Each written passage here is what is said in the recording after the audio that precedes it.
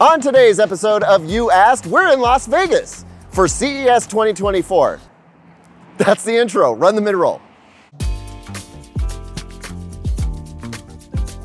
Welcome back, everyone. I'm Caleb Denison, and if you haven't figured it out already, we're doing a special CES edition of You Asked, the show where I answer questions that you asked in hopes of helping you and others with similar tech questions.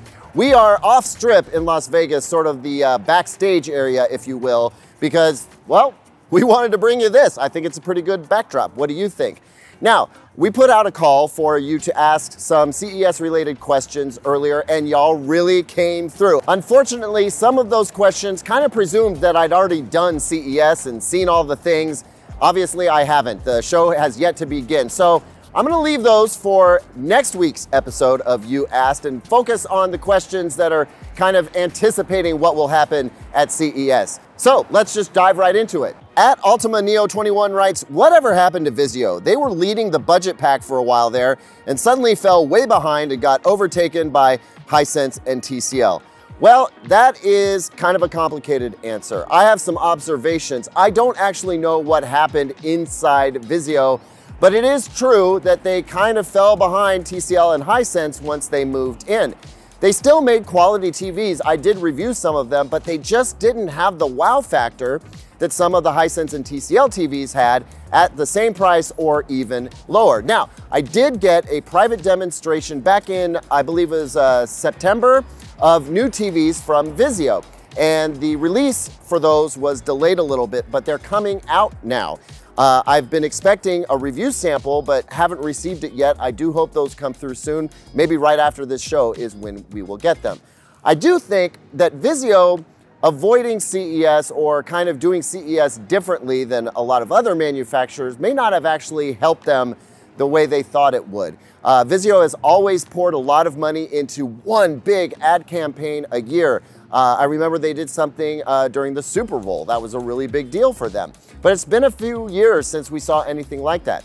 Anyway, if I had to guess, I'd say Vizio has a really solid chance at making a comeback if the TVs, which looked really good, by the way, are as good as they looked sort of subjectively during that evaluation that I had at that on-site. So We'll see, but we don't expect to see Vizio here at the show this year. At Rinsler HDG says, Hey Caleb, as CES is starting and there will probably be companies releasing new TV models and such, do you reckon it would be a good time to buy an older model TV since prices will be dropping? Well, that's kind of a perennial question. Right now and through the Super Bowl and just after, we're hearing about the new TVs that are coming out, but the new TVs aren't quite out yet. Yes, prices are very low now, but until the new models start coming out, we won't see those deep, deep discount cuts. Unfortunately, by the time those new models come out, the stock of the prior year models is already starting to dwindle, so it can be harder and harder to get a hold of what you want. I'd say keep an eye on prices, but I wouldn't wait too much longer to buy. At Dark Seven Tide says, Hi Caleb, I was wondering if there will be any new companies putting out TVs. I remember you mentioning a company last year that was new and looking to get into the market, Sky something or other. Sorry, I just can't remember the name for the life of me. Also, will TV manufacturers like Panasonic or Sharp ever appear in the US TV market again? Looking forward to your CES coverage. I'm looking forward to it too. Okay, so I think you're referring to Skyworth, um, if I'm not mistaken. I looked them up once I saw your question because I remember that same thing. Whatever happened to those guys? And it looks like they're distributing in North America, yes, but mostly in Canada. In fact, you can buy those TVs from Canadian Tire and London Drugs, apparently. Anyway, um, I don't know that they're necessarily going to emerge into the US market uh, anytime soon. I'll try to ask them if I see them on the show floor. Um, but other than that, I mean, we had Roku come out into the US market last year, and they're making a big push with a Pro model this year that I think we all should keep our eyes on. It could turn out to be really good. Uh, and then you are talking about Panasonic and Sharp. Sharp, yes. Panasonic, probably not. I would love for Panasonic to start distributing widely in the US again, but for now, to the best of my knowledge, you can only get Panasonic TVs from special retailers that are spending a few bucks to get them imported. Robert Zohn over at Value Electronics is one of them. But Sharp TVs, absolutely. Sharp has basically reacquired all of their assets. They are making their own TVs again, and I do believe we will be seeing those TVs here in the US in 2024. At J Patrol says, Hey Caleb, what's the scope on audio stuff for this year? And will we see some new soundbar audio? So the scope of audio stuff, I think is actually going to be very big. I know of a few very interesting things that are coming out from some major manufacturers. Um, outside of that, I don't really know. I don't know that we can expect to see another Nakamichi Dragon this year, for instance. At least I haven't heard of it. But I do think that we will see the new generation of soundbars from all the major manufacturers and maybe even uh, some surprise hits from some smaller brands. Also, let's keep an eye on Dolby Flex Connect. I have a visit with Dolby to learn more about Flex Connect, and it could turn out to be really cool. We'll see. But I'm definitely going to be covering that here at the Digital Trends YouTube channel. At Zoster Insky says, is micro LED getting closer to being available as a consumer product? Um, well, technically it is available as a consumer product, but I think you're wondering, is it going to be purchasable as like a normal prefab 55, 65, 75, or 85 inch TV? I do think it is getting closer, but I have to say that for all the pre-briefings I've gotten from the major manufacturers, specifically Samsung and LG, who are heavily invested in micro LED for the commercial market, I didn't really see any big news coming from them around micro LED, but we have yet to go to their first look event. And I do hear that there is a new TV that Samsung did not tell us about that we'll be seeing there. That would be tomorrow. The video for that will come out either late tomorrow or early the next morning. So keep tuned to Digital Trends. You'll know the answer to that question very soon. At Vadim Timotin says, name two things you've seen that are the best and worst innovation or feature in any product. What blew your mind and what just left you speechless for all the wrong reasons? Uh, so I don't know if I can name two of the best, but one that really stands out for me was the Willow breast pump. I know it sounds crazy, but this was a few years back Nobody had seen anything like it. It's basically a, a, breast pump that a woman can put in their bra. Nobody knows that they're pumping. Um, it's very comfortable apparently, and it stores the milk within the apparatus. It was kind of a game changer. And that's the kind of technology for lifestyle that we really need. I really want to see more of that kind of innovation in lifestyle products as well as accessibility products. And hopefully we'll see that at this show. As for the worst, I can think of a few. There were vacuum shoes. Those were a thing. That was absolutely ridiculous. Um, there was also this apparatus that you would strap over your mouth and face so that you could have private conversations uh, over the phone and nobody could hear you. That was kind of ridiculous uh, and went nowhere as far as I'm aware. Uh, and then one particularly uh, not great product was something made by Withings. You put it in your toilet and you peed on it and it would give you feedback about nutritional data and whether you might be ovulating. And uh, the problem with that it was that it stored all of this very sensitive information in the cloud. Security was a big concern. And this happened uh, right around the same time. There were some pretty big Supreme Court decisions that called a lot of that stuff into question. So those, those are the ones that kind of stand out in my mind. At Lisa B, a regular at the channel, writes, uh, will a lot of your friends in the AV tech space be there? Will you all meet up? What do you actually do there? Just wander through the various displays and presentations and shoot video?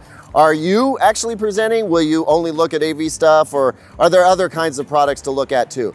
So it really depends on what kind of uh, beat you're on as to um, how you conduct yourself. Most of us journalists have been pre-briefed on what's coming. We'll go to special first look events or we'll go straight to a booth uh, to check a product out in real life after we've already learned about it. Um, later in the show, we might get to wander around and discover some stuff that we haven't heard about, but um, there is so much here that we have to kind of come in here with a bit of a plan of attack. Um, otherwise, you just wander aimlessly and we don't get a chance to really cover a lot of or produce a lot of content. Myself, we have a very rigorous schedule of going from uh, LG to Samsung to TCL to Hisense and uh, and everywhere in between. So we're trying to cover all the TV stuff because TV is my beat, but we've got folks in computing and mobile and gaming and, and, and that kind of thing. So they're all kind of doing their thing. But we leave the wander the show floor for discovery towards the end. Uh, as for the AV tech industry, uh, fellow YouTubers and journalists, I hope that some of us can get together this year. It's really tough because our schedules are super packed. So the only time we have to do that kind of thing is usually in the evening and there are press dinners and other stuff that can kind of complicate things, but I do hope that we can have a little bit of a meetup this year. At Anjo103, a bunch of numbers, writes, any news about 16K resolution, TV, monitor, display, etc.? No, I have not heard much about 16K resolution, not in consumer TVs at all. I am going to be happy to be surprised. I would not be surprised if we saw some 16K stuff here, but I think that's very pie in the sky, very futuristic type stuff. Um, I don't know that we'll see anything other than some concept prototype thing. At Raven836 says smaller than 55 inch QD OLED TV panels will exist in 2024. Technically, no. Uh, but look at the QD OLED computer monitors that are gonna be coming out at this show.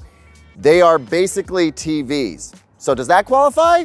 You let me know in the comments. At SweetLows119 says, why do people show off prototypes that they have no intention of making them available to purchase?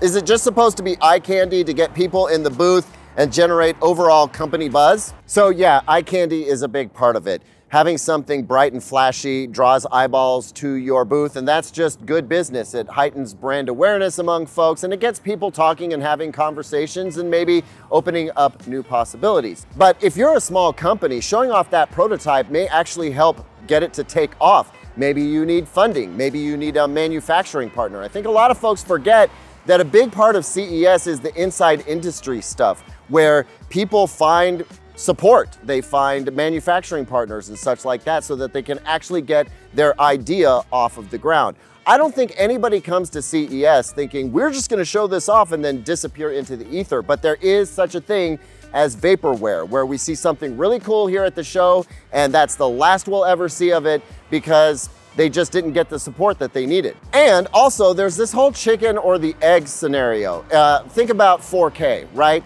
Why should people be making 4K content if there's no TVs out there to watch it on?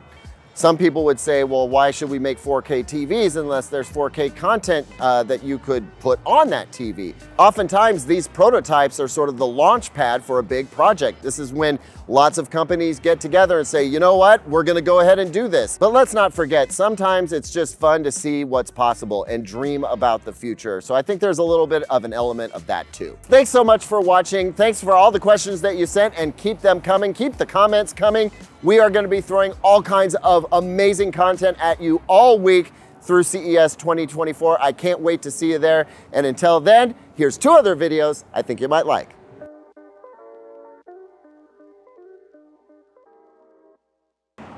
Something like that? Yeah, Thank you. Great.